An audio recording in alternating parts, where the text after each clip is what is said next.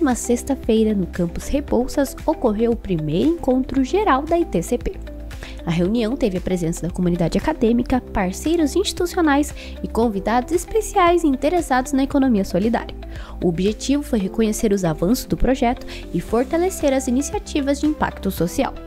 A Incubadora Tecnológica de Cooperativas Populares, a ITCP da UFPR, foi criada em 1999 e é um programa de extensão e pesquisa vinculado à Pró-Reitoria de Extensão e Cultura, a PROEC.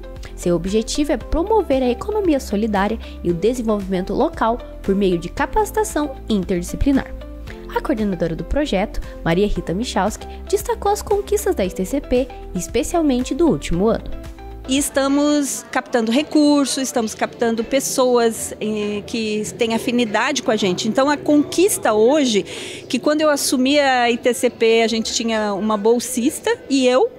Hoje nós estamos com uma equipe de quase 100 pessoas voluntários de todas as áreas. Eu estou assim super emocionada hoje e aos poucos com muito trabalho, com eh, busca de editais e parcerias com o governo do estado, com a prefeitura, com o governo federal, inclusive. E, e eu estou chegando de Brasília. A gente está num nível assim conversando com o MSTI, sabe, a tecnologia de ponta de inovação social de verdade. O primeiro encontro geral foi realizado para celebrar conquistas recentes, reafirmar parcerias e planejar futuras ações.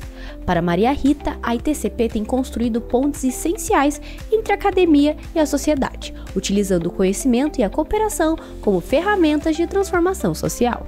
Esse evento, na verdade, é uma reunião entre nós da equipe de integração, de é, reconexão que a gente está há dois anos é, transferindo né, a ITCP passo a passo para outros campos da UFPR e hoje vai, a gente vai ver essa equipe toda aqui para se autoconhecer e agradecer os parceiros que fizeram parte desse último ano com a gente.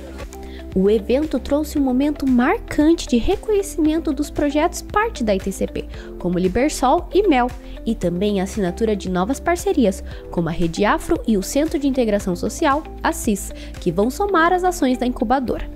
As novas metas, como aponta o vice-coordenador Luiz Felipe Ferro, são de consolidar a ITCP como núcleo de referência em cooperativismo.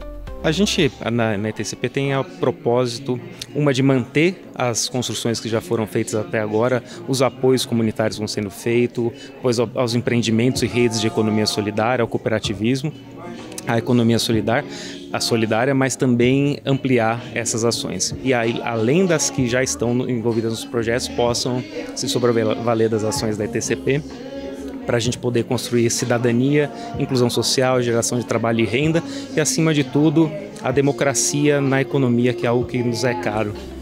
O evento foi um momento marcante para fortalecer laços, celebrar o compromisso com a transformação e planejar novas ações.